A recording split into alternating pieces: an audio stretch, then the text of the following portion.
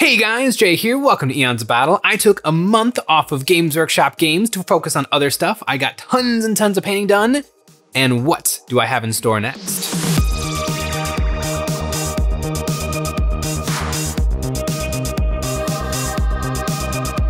I love Games Workshop games. I have thousands and thousands of points worth of Warhammer 40k armies, dozens and actually dozens and dozens of kill teams, 17 of which are painted, which I am very proud of. I also have a little Aeronautica Imperialis floating around. I would love to try Adeptus Titanicus, uh, a little bit of Warcry in the works, and even a little Warhammer Underworlds. I'm dipping my toes into that. But I decided to take some time off to focus on other things, and I'm glad I did one of my favorite things for painting, for improving painting quickly, is to paint other stuff, stuff that you're not used to painting.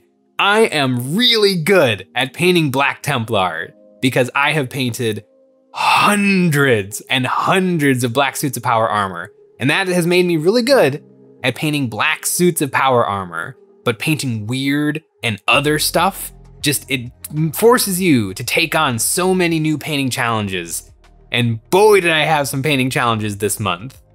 The first thing I painted this month was a new crew for Malifaux, the Key and Gong. They are very small, very delicate, very weird, get it, because weird makes Malifaux, miniatures.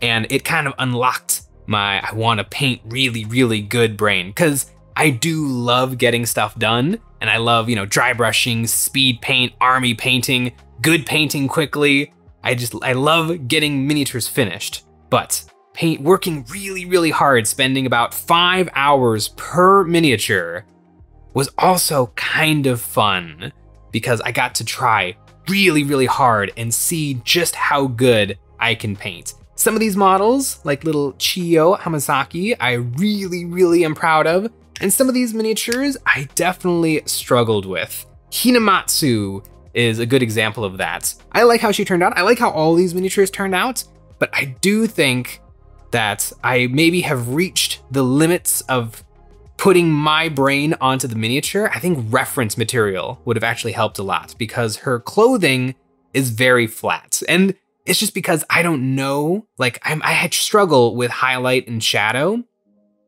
I think I, I plan on entering Golden Demon because one day, one day I'll have one of those ugly ass trophies but to, to get it, I'm gonna have to have like a perfect understanding of light and color. And so I think this is a really, really good step one because her clothing is pretty flat. And that's mostly because I washed it all. Washing is a wonderful, wonderful tool for just quickly shading the recesses. But if you do it everywhere, you can end up with a not super, super realistic way of doing clothing. You guys saw me paint all these up in a video. I'm really, really proud, proud of this team. I'm proud of all of my Malifaux miniatures because they're tiny little things that require so much precision and detail. And I just, ah, every, like if I had to get rid of all of my miniatures, like for some reason I have to get rid of everyone, ah, that would be okay. I could get through that.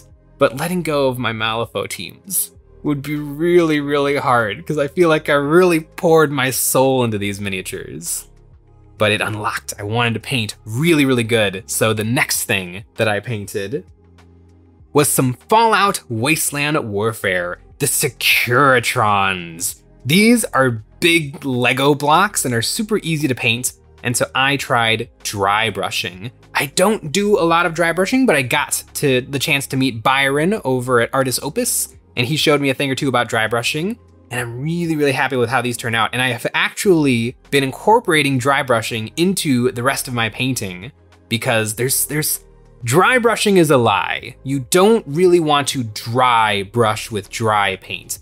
And it actually makes sense. Like you just hear dry brushing over and over and over and you see it so often in tutorials. I was like, yeah, you dip your dry brush into paint and then you scrub it on the model as fast as you can and then the, the dry paint sticks, but actually only the wet paint sticks to the model. And so, and then the as it dries, it just kind of crumbles and you get that dust. You actually are applying a billion tiny strokes of wet paint. And so you want that paint thinned and you want it exactly the right consistency where the wet paint is being deposited on the miniature. and It is not just sticking, but you're you're painting with a million tiny little brushes and that, that big old makeup brush. It's a tricky, tricky painting technique, but it can do some really, really good results really, really quickly. I actually base coated these guys brown and then just slowly worked my way up through shades of blue to make some really interesting and subtle uneven changes across the surface. And that I think is what made the, makes these guys look good because I if I wasn't planning on dry brushing them, I think I would have just airbrushed them blue and then gone from there, but I wouldn't have gotten all of those subtle little things happening inside of the armor. Dry brushing. Dry brushing is one of those things that I think everybody should have in their toolbox because every mini is different. Those Malifaux minis could not be dry brushed.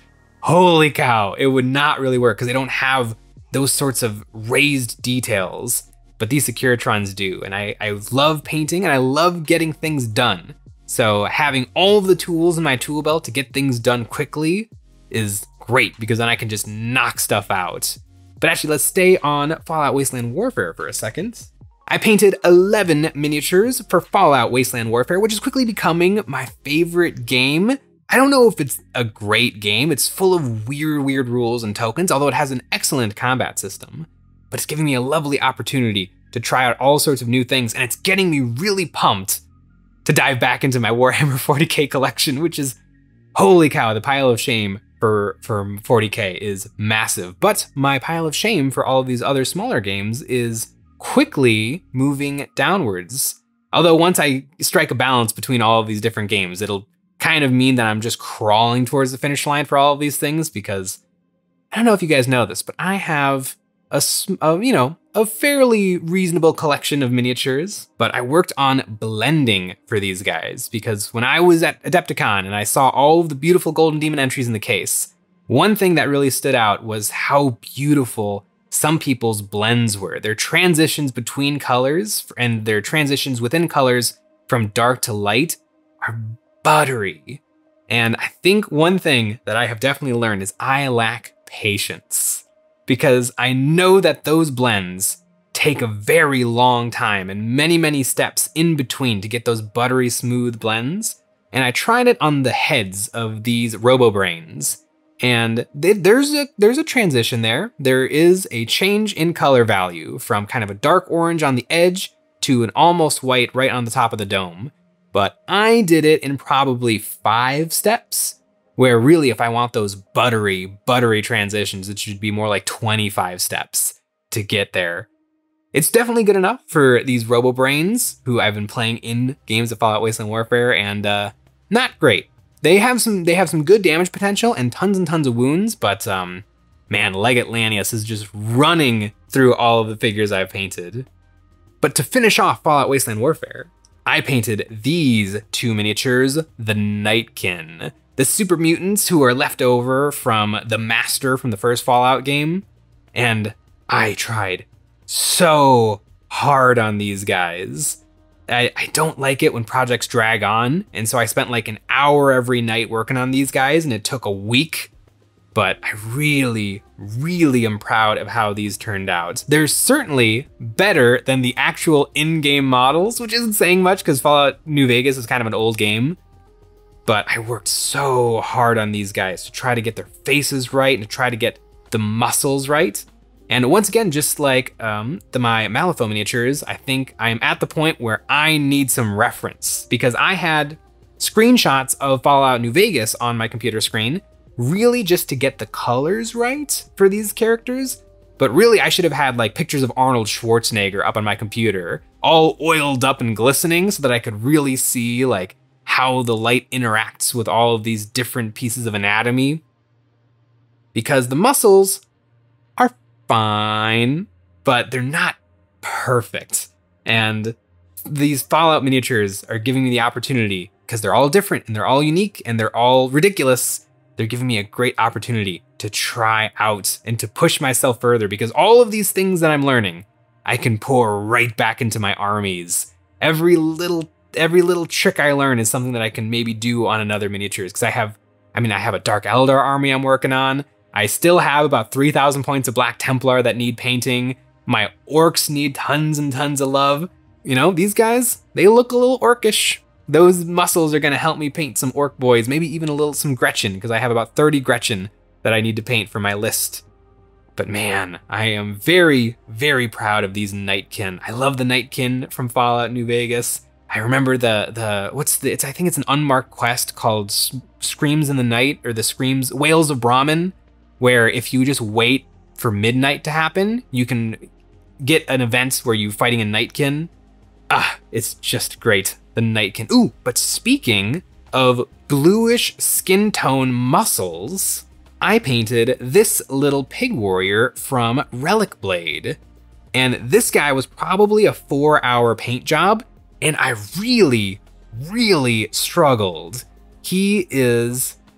Did you ever, when, like, it's a little toy that you can sometimes find at like convenience stores or hardware stores, where it's a rubber ball with water inside, inside of a, of some mesh, and you squeeze it, and then little pimples pop out from in between the mesh that's kind of what his muscles look like.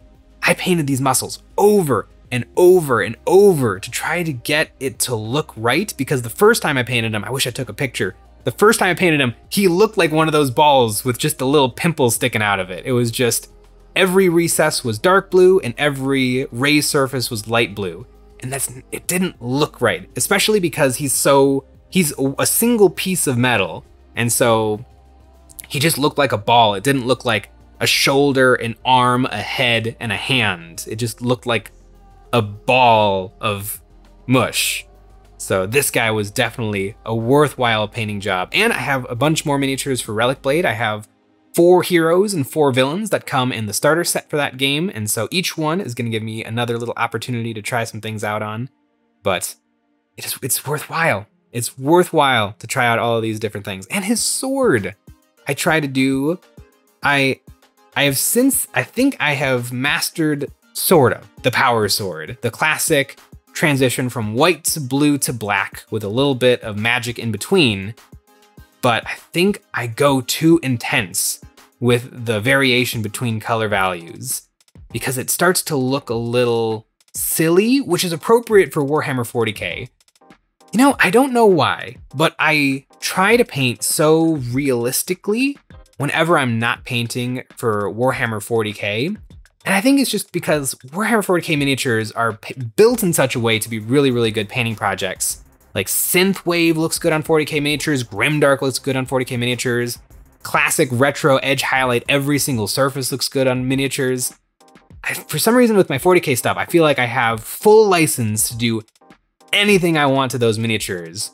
But on other miniatures, I feel like I want to make them look exactly like they do in the artwork. And usually since it's not 40K, there's not been hundreds and hundreds of different artists who have worked on this project over the course of the last 36 years, there's usually only a couple of pieces of reference. And so I feel obligated to try to match the reference as closely as I can. And sometimes that results in Pig Dude. And I am very proud of Pig Dude. He's a great little pig dude. After Pig Dude, I worked on some vehicles and you guys saw these in a video. And actually there is 34 other miniatures that are not in this video, but they are painted up and y'all might see that on Wednesday, a whole army of a little something something. But these miniatures, the Star Wars Legion, big, big stuff has got me pumped for vehicles, which is great because I have two Primaris transports the gladiator tanks, the incursor tanks, the subjugator tanks, the futuristic tanks, whatever they are, I'm excited to paint them up, but I'm nervous because this model is awesome, but it's light and colorful, and light and colorful is really, really easier to do to make things look really, really nice because it's all self-evident. It reads well. The light reflects off of it right back in your eyes and you can see all the little details. But black vehicles are scaring me. I, but I've discovered a trick to vehicles. And the trick to vehicles is base coat and then you take a dry brush and you just dry brush the heck out of it and you stipple and you get as much variety as you can on these big, flat, boring sections and it makes them so much more interesting. So I think my plan for those Black Templar vehicles, and you'll definitely see it in a video, is maybe invert it. So with this guy, I did a dark oil wash over everything and that filled in all the little cracks and outline stuff. And I definitely want to get that effect, but inverted for black armor. So my Black Templars are based with a tan base, which I might be changing to a more yellow paint, uh, yellow scheme. I think I'm gonna actually try to revamp my Black Templar a little bit for 10th edition because right now they've all been painted over the course of the last like 11 years in all different phases of my painting journey. And so I think I would like to just set them all out on the table and give them each a little TLC to maybe make them a little bit more coherent on the tabletop. But for my Black Templar vehicles, which are bad right now, I have rhinos and a couple of other things, and they're pretty lame. But I think if I oil wash them with a tan or a yellow tan, and then wipe almost all of it away, I think I'll get the, the opposite, where I've got this black tank and all of my little edges are outlined in a light color.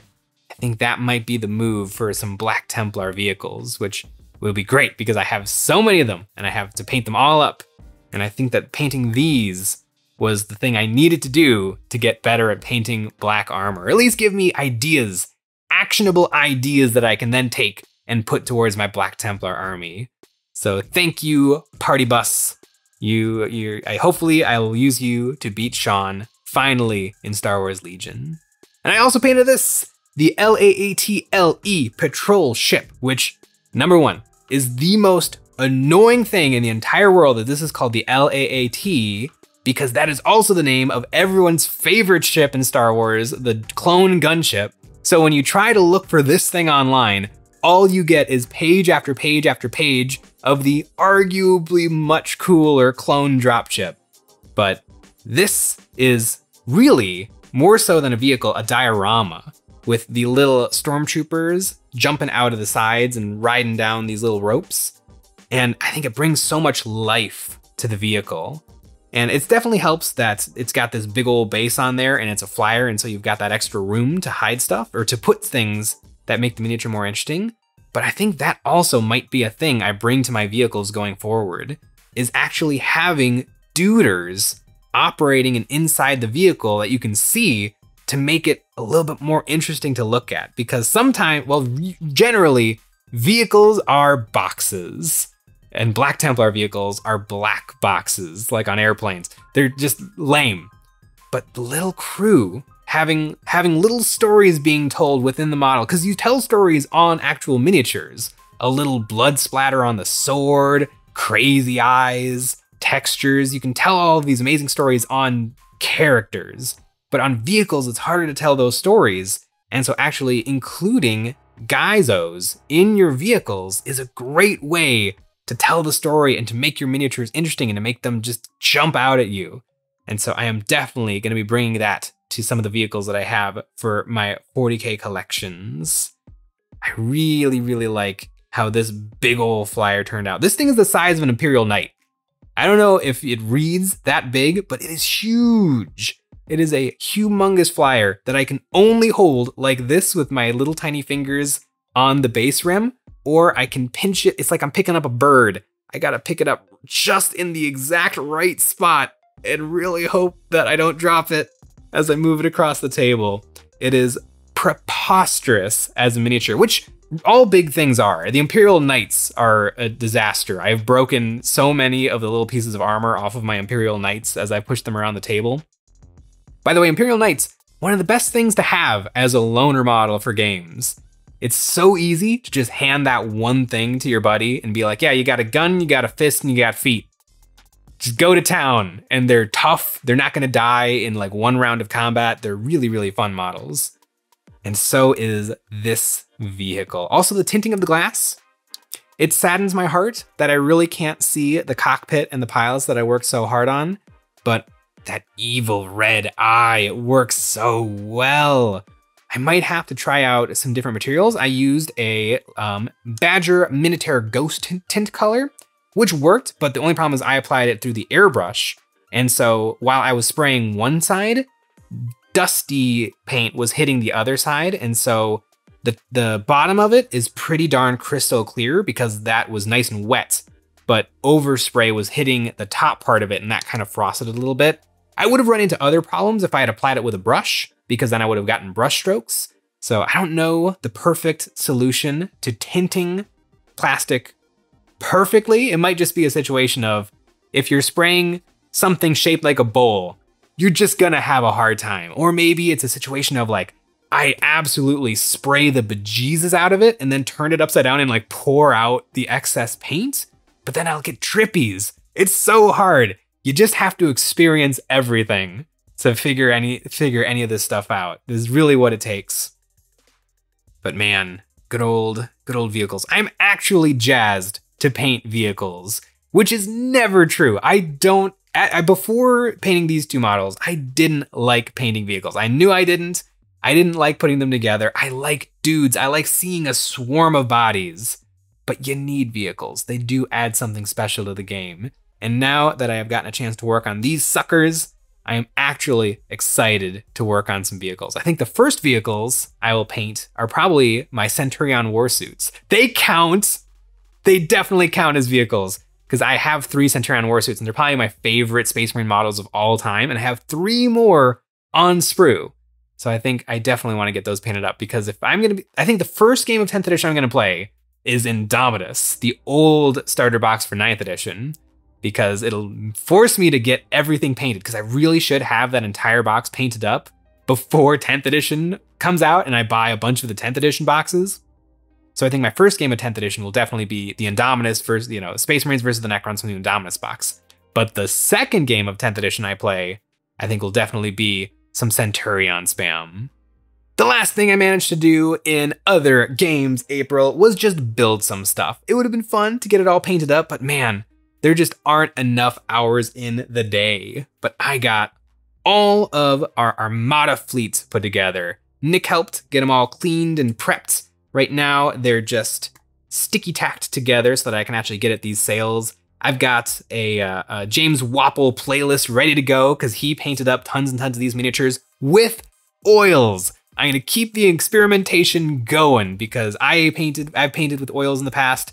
It didn't go well, but if at first you don't succeed, I guess you just you keep trying. I think that's how it goes. But because I can whip these up with I could whip these up with acrylic so easily. But I want to try. I want to try to get really really good at oils because just like dry brushing, I want to have it in my toolbox. So I have about 30 little tiny boats Actually, they're not really that tiny. Let's see. Bill Ogden is probably about the size of a guardsman. And this guy, this boat is probably three bills. Bill, Bill, Bill, Bill Nye the Science Guy. Okay, I'm having too much fun. These boats are really, really fun and will be another fun painting project because essentially these are vehicles. So I think I'm going to learn an awful lot on these boats. A little annoying to put together. They're all resin, and I love, I love resin miniatures, but plastic is so, so, so much better. It's way harder to make plastic miniatures because you just sculpt a resin miniature, cut the arms off, cast it, you're ready to rock and roll. Where plastic, you have to figure out how to explode them, flatten them, and then have it where they can all be reassembled. It's it's an amazing amount of work to make a plastic miniature, but 30 boats, maybe maybe next by next year. You know what? Let's set a time frame. How long is each boat gonna take me? Maybe two hours? Two hours times there, oh my goodness. it is gonna take a while, but we've gotten to play this game a couple of times and it's really fun. It's got X-Wing vibes, although it's got uh, more rules than X-Wing. It's probably a good in-between, like a classic 40K style large scale skirmish game and a smaller, tighter game like X Wing, where it's just move, shoot, move, shoot, move, shoot. It's a really, really fun game, and it's all about boats. 31 miniatures completed, plus the 34 that are for the video coming up. 65 miniatures. I think 65 painted miniatures is a really strong number for one month. April has been a ton of fun. And speaking of the month of April, Every single month over on our Patreon, we come out with a brand new STL terrain pack, and this month we have the Twisted Train Station. A devilish depot, perfect for skirmish games like Kill Team, Malifaux, or anything else you can think of. We also make one extra episode of Eons of Battle every single week where we take a look at our viewers' miniatures and give some ideas and critiques of how to improve their painting. We host live Discord hangouts, and we have a new tier where you can get your name on one of my Black Templar Space Marines. Maybe even a vehicle, once I get some of those painted up other games April has been tons and tons of fun. It's not even done yet. I might get a couple extra figures done before the end of the month. Thanks for watching.